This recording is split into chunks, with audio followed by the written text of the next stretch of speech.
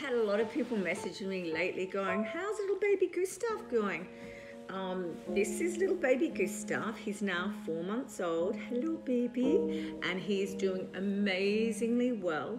Um, he's ridiculously good looking, obviously. And uh, I just wanted to update you on his, yeah, he's being fed every day on premium quality. He's never had uh, pet food in his life.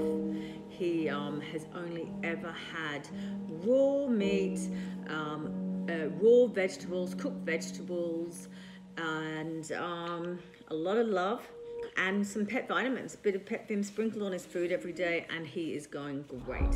So, yes, he's going great, and he's as naughty little boy as ever. He's slowly getting toilet trained and slowly destroying my apartment, but he's worth every minute of it. Aren't you? Worth every minute. Bye from Petvim. Bye from Gustav.